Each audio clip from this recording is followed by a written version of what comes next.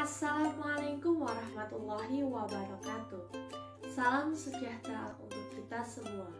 Perkenalkan, saya Diah Frismawati dari Teknologi Agroindustri.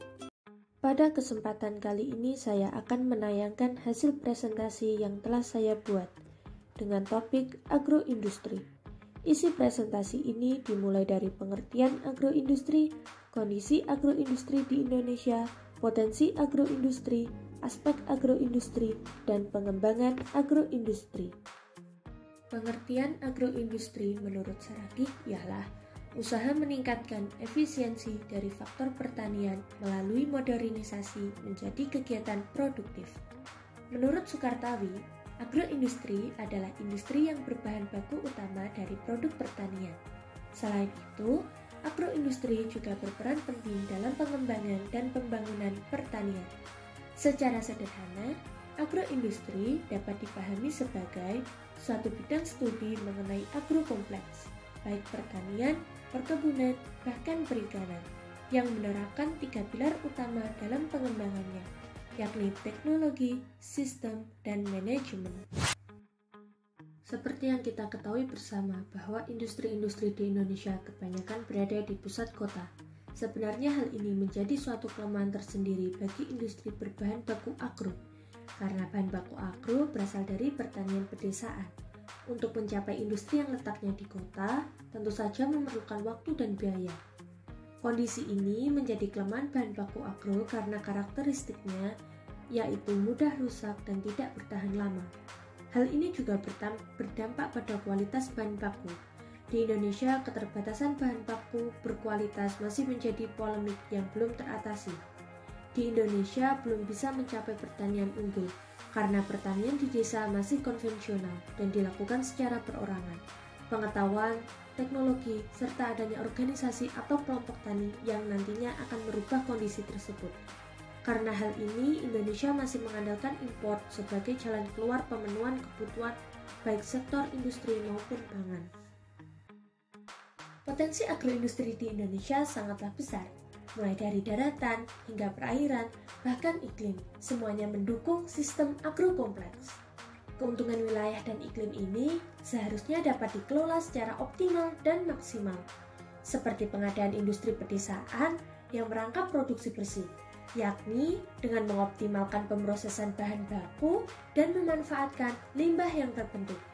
Selain itu juga memberikan pelatihan pengembangan, dan pendampingan sumber daya manusia yang dipekerjakan.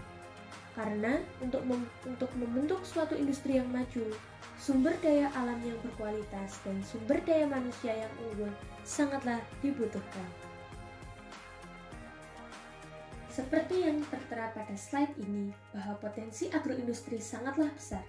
Begitupun prospek agroindustri.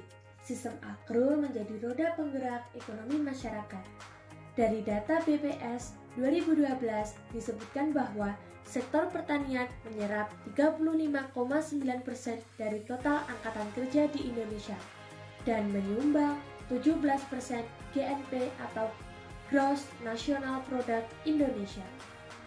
Telah diagendakan pada tahun 2045 Indonesia menjadi lumbung pangan dunia.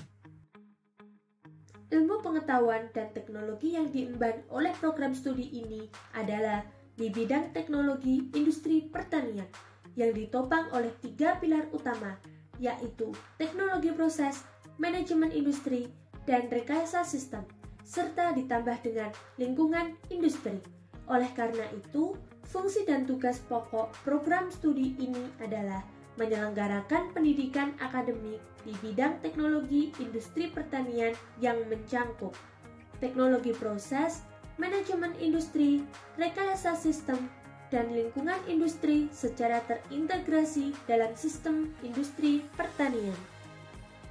Secara umum, manajemen industri dapat didefinisikan sebuah proses yang mencangkup perencanaan, pengorganisasian, pengontrolan, pengaturan, pengawasan, dan lain-lain. Yang tujuannya agar target yang telah direncanakan oleh suatu industri dapat diwujudkan dan dilakukan secara efektif dan efisien. Dengan kata lain, manajemen industri memiliki kemampuan untuk menentukan arah industri. Selain itu, ada pula pemenuhan fungsi yang harus dilakukan agar target usaha dapat dicapai secara maksimal. Adapun pelatihan skill atau keterampilan sangat dibutuhkan untuk mengontrol sumber daya manusia, pasar, dan lain sebagainya. Teknologi proses didefinisikan sebagai suatu kemampuan untuk memahami, mengoperasikan, menutup, menganalisis, dan memecahkan masalah dalam proses industri. Teknologi proses mencakup mesin, peralatan, dan seluruh perangkat yang memberikan kontribusi untuk operasi mengolah bahan dan informasi kepada pelanggan untuk menambah nilai. Salah satu contoh penerapan teknologi proses dalam industri yaitu penerapan pengubahan baik kimiawi, biokimiawi, dan fisik pada hasil pertanian menjadi produk dengan nilai ekonomi yang lebih tinggi. Contohnya seperti kakao menjadi lemak kakao, bubuk kakao, dan aneka produk coklat. Kopi menjadi kopi bakar, produk-produk kopi, minuman, dan kafein. Teh menjadi produk-produk teh, minuman kesehatan, dan lain-lain. Produk-produk yang dihasilkan ada yang dapat digunakan secara langsung dari sejak tahap awal, seperti rempah-rempah, sari buah, dan lainnya. Serta ada pula yang menjadi bahan baku untuk industri lainnya, seperti industri makanan, kimia, dan farmasi. Teknologi proses dalam produksi pangan meliputi pengolahan dengan suhu tinggi, suhu rendah, pengeringan dengan garam, asam, gula, dan bahan kimia, iridiasi, fermentasi, pemanggangan, pemanasan gelombang microwave dan ohmik, ekstruksi, dan pengolahan dengan cara menggoreng, termasuk juga pengawetan dengan non-thermal. Di dalam slide ini, rekayasa sistem telah dijelaskan sebagai kegiatan menentukan spesifikasi, perancangan, pengimplementasian, penyebaran, dan pemeliharaan sistem sebagai satu kesatuan. Namun, secara sederhana, rekayasa sistem didefinisikan sebagai sebuah komitmen untuk menselaraskan konektivitas sistem sejak dari perancangan, mengawalnya ketika operasional, serta memperbaiki rancangan berikutnya melalui pengalaman operasional.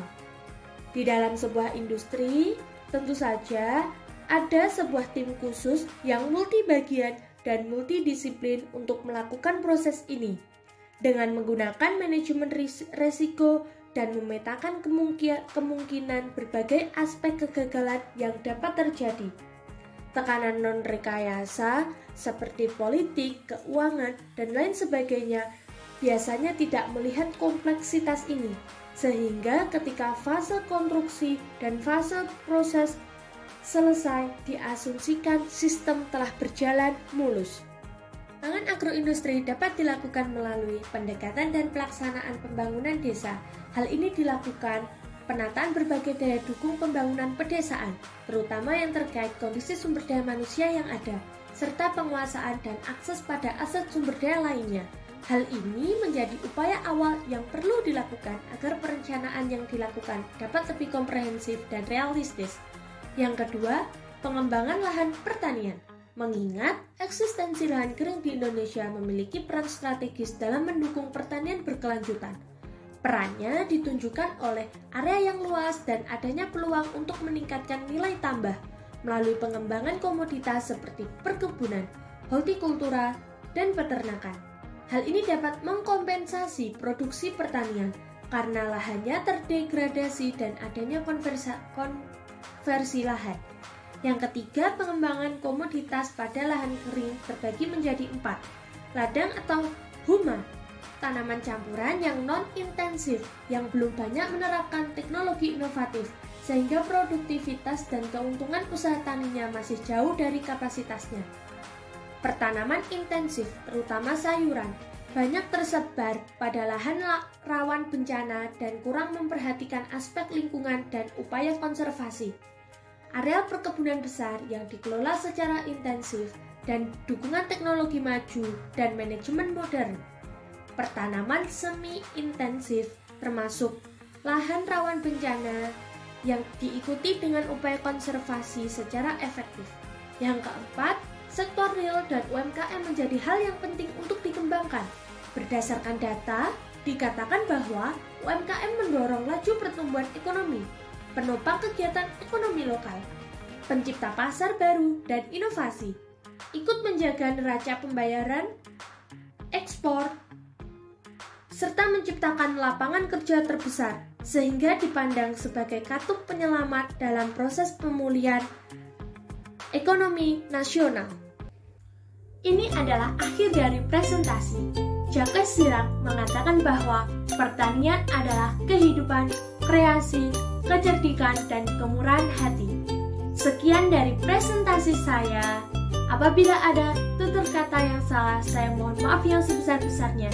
Saya Dia Frismawati, pamit undur diri. Wassalamualaikum warahmatullahi wabarakatuh.